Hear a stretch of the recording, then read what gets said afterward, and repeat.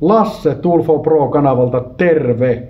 Kuten aiemmin mainitsin, tässä jaksossa esittelen hieman enemmän yrityksemme taustalla olevia omistajia sekä avainhenkilöitä.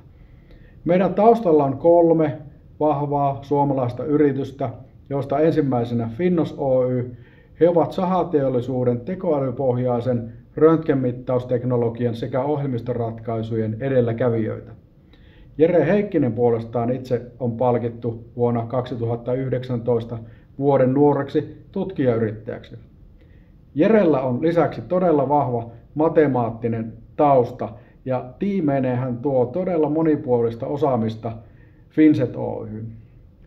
Teollisuustaito puolestaan on omaan kokemukseen perustuvia asiantuntijapalveluita prosessiteollisuuden tuottava yritys, jonka taustalla ovat Annika Hämäläinen ja Kare Lappalainen.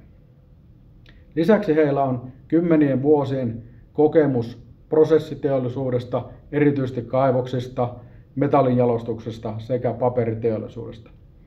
Lisäksi heillä on todella monipuolinen ja vahva osaaminen prosessiteollisuuden vesien hallinnasta.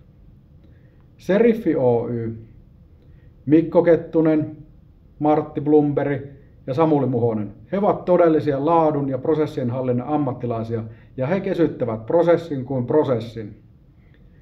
Seriffi Oy on sekä asiantuntija että ohjelmistoyritys ja heiltä löytyy vankka osaaminen prosessien digitalisoinnista. Tool4 Pro-kehityksen taustalla on ollut myös oma tarve.